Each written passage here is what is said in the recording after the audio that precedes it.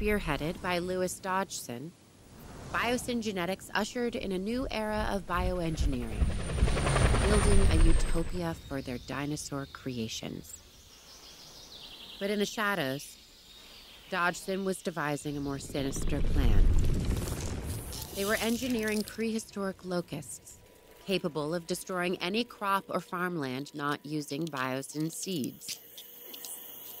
Doctors Ellie Sattler and Alan Grant discovered their plans and infiltrated Biosyn's restricted research area. They were able to collect the DNA evidence they needed to prove Biosyn's nefarious intent. Attempting to cover his tracks, Dodgson destroyed the evidence, causing a catastrophe in the valley.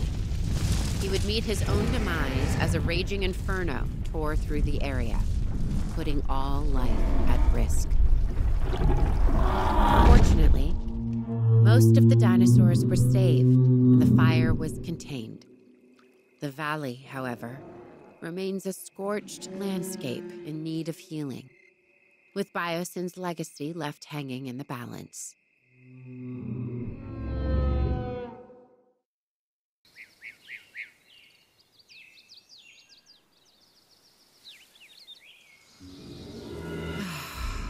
I wasn't expecting it to be this bad.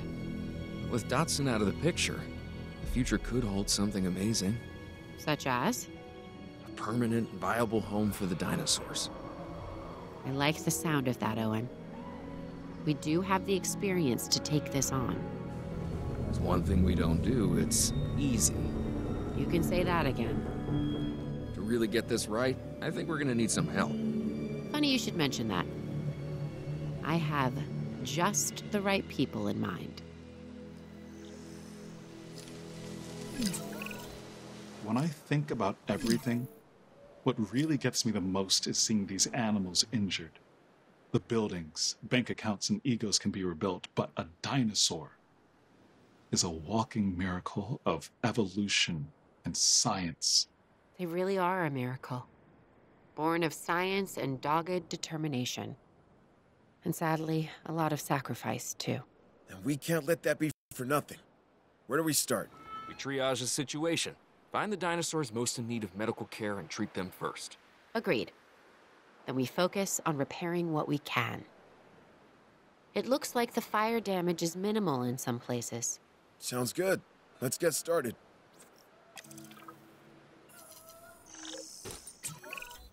We should get the essential systems back first. Let's start by repairing the hydropower hub. Yes, right. Energy is the first step towards getting us back up and running. Exactly. We sort that out, and we get our core buildings operational again.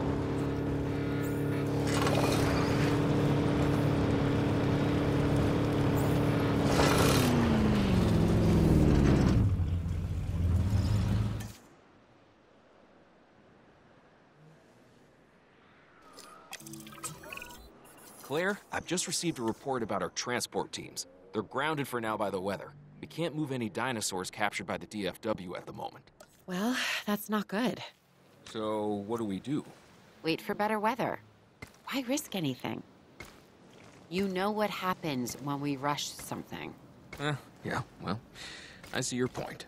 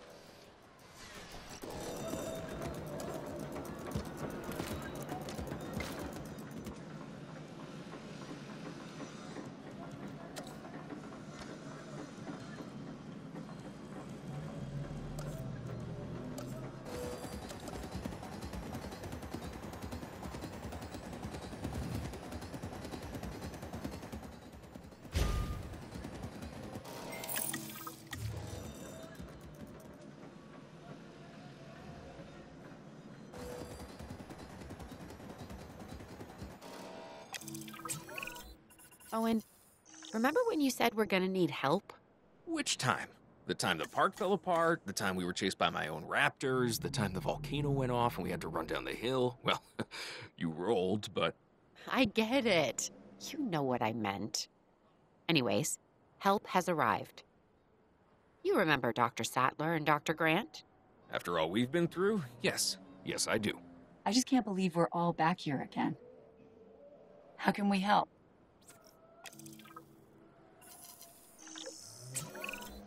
Right now, we could use some more personnel. Specifically, scientists.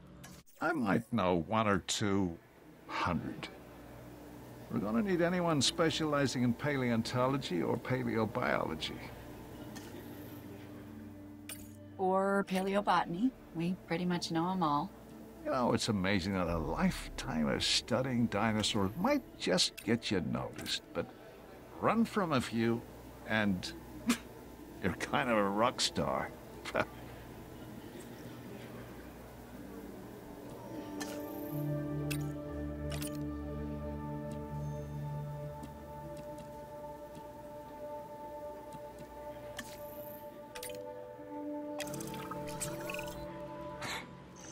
Ellie, why are we here? Really, what are we doing?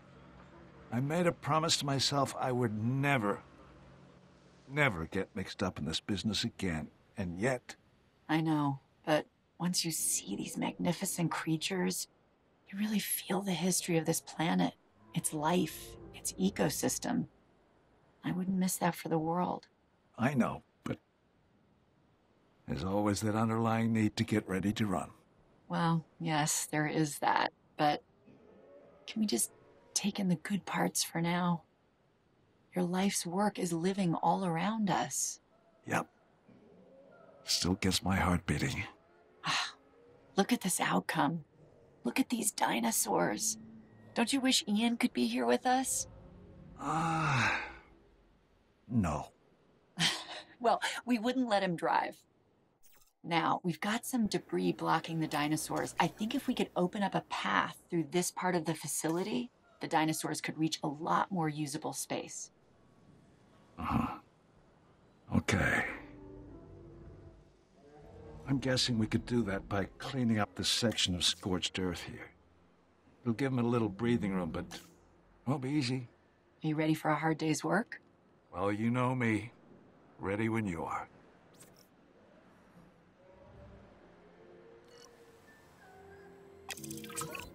There's a good stretch of beautiful land in the valley, untouched and perfect for the dinosaurs. But to get them there, we'll need to move the animals through a lot of fire damaged forest. Here's the path that Ellie and Alan laid out. Many of the dinosaurs have the instinct to move in herds, in packs. We convince a few, and the others will follow, even the solitary animals. Once they see a large migration, they'll be tempted to tag along. And the predators will go where their food does. They always do. Okay, so how about we mobilize our ranger teams to wrangle them through the path? It'll be like a cattle drive, but with vehicles, and the cows weigh eight tons.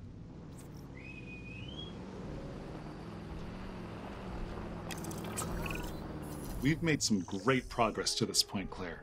I completely agree, but we need to keep moving forward. What's next for the dinosaurs? Research outposts. We can construct or repair what we need. Great. Let's get on it. Remember when we first saw the dinosaurs, Alan? When the promise of Jurassic Park was so alive? Yeah. I was overwhelmed. We all were. And the potential filled me with hope. It was magic. It was, Ellie. It truly was. But like all magic, it was just an illusion. We didn't realize the consequences of bringing them back. Yeah. We may not be able to change the past, but we can learn from it. Really? Like when they failed again with Jurassic World? All that technology. We do not need those elaborate security devices they had. What we do need is more hands-on conservation. Ranger patrols, for instance, that could effectively monitor the animals and their welfare, you know? Correct. Vigilance. Exactly.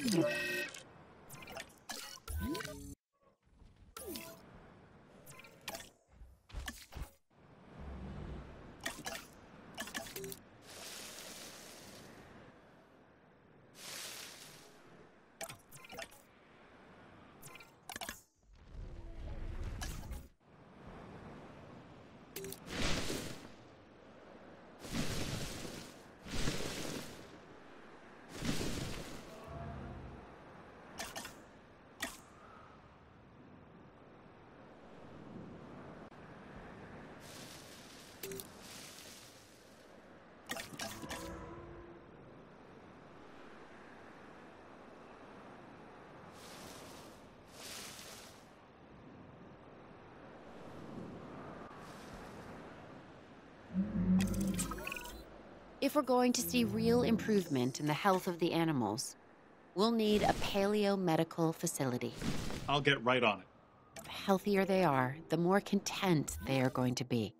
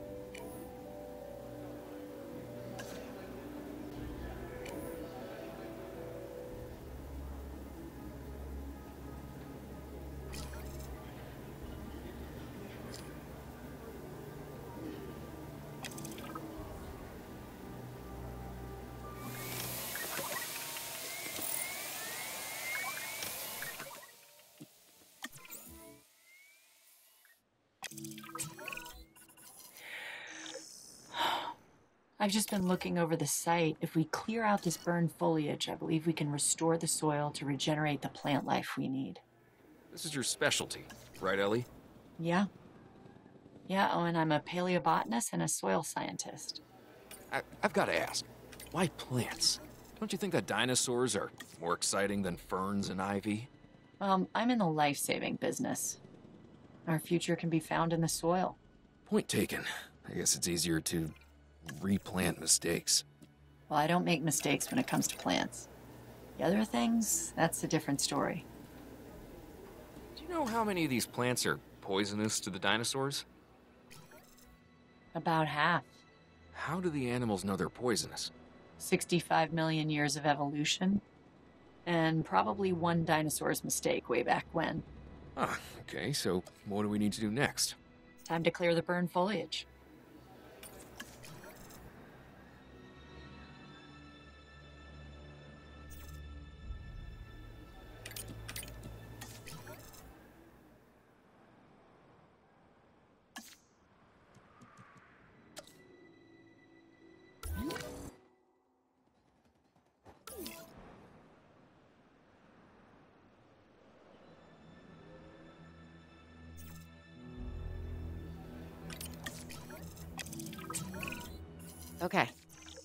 We need everyone on their toes.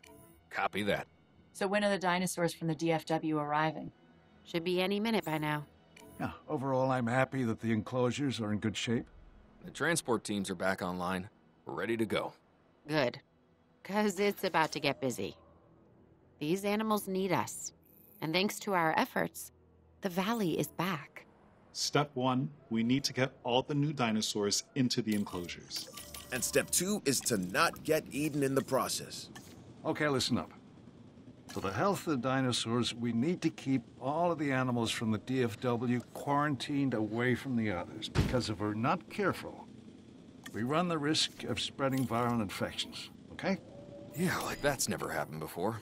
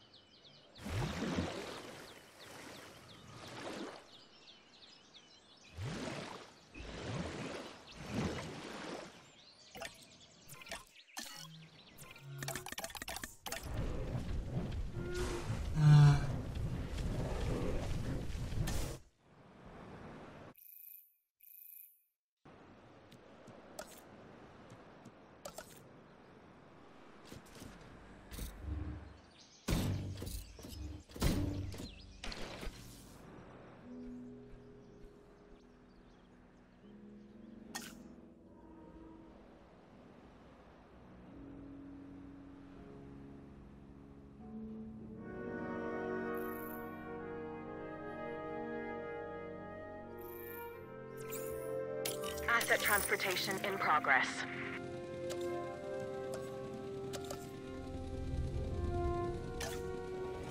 Confirming asset delivery. Asset delivered.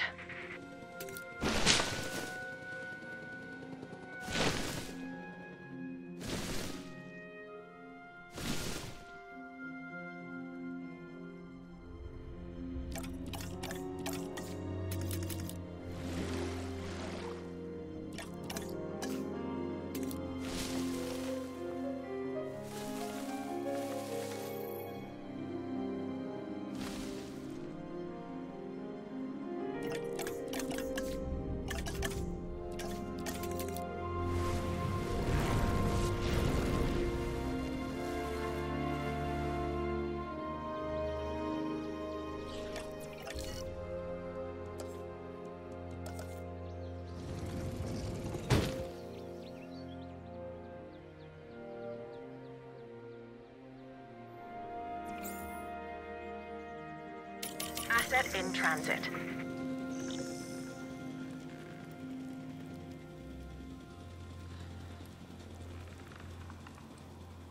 Asset has been delivered.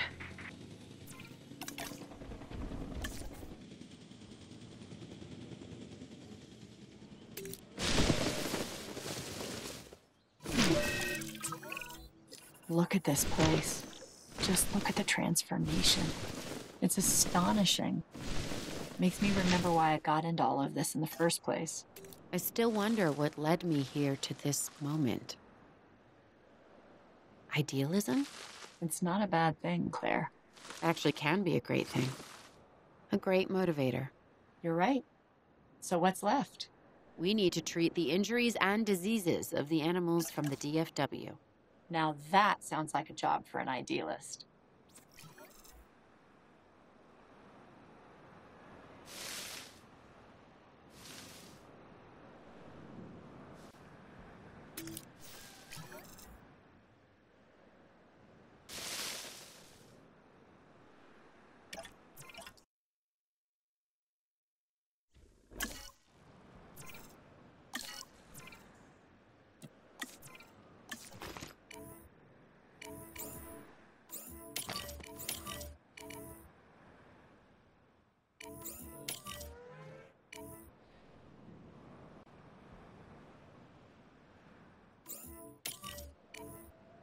Can't reach it there.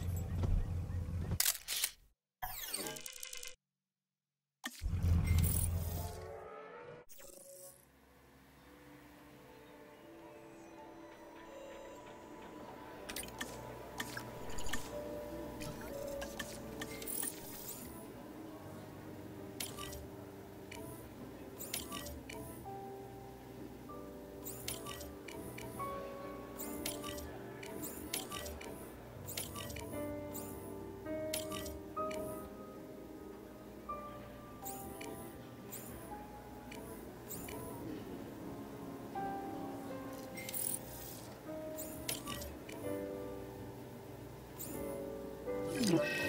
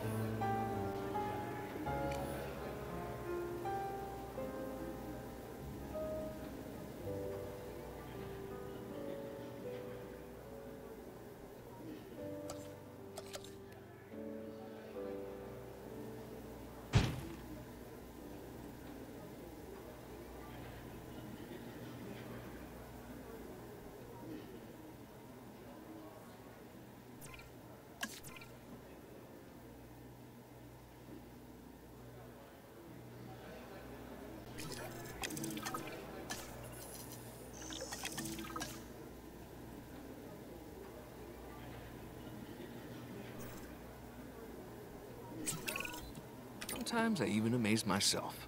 Sometimes, As in, sometimes I wonder how I even survived all this. we all wonder that. But let's focus on the facility. Now that it's rebuilt, we need to make sure it can be maintained. What if we monitor the status of the dinosaurs? We keep them disease free? And then our work should be done. I wasn't sure we'd ever get this place back under control. Think we could call this a success? As long as the dinosaurs are comfortable, I think so. Then it's time to test the system. Make sure it's stable and viable. Let's keep our dinosaur comfort and visibility ratings high. Make that our top priority. That and And not getting eaten. Yep, I know. I know. So, how are we doing, Ellie? It's no Isla Nublar, that's for sure. Well, that's certainly something to be thankful for. I just meant the conditions here at Biosyn are more challenging. The climate, the biodiversity, the lack of natural barriers, it all adds up. You're right. But tell me, has adversity ever stopped you before? No, but it's getting harder with each challenge. We've got to get it right, or this could all fall apart. Well, we certainly don't want that.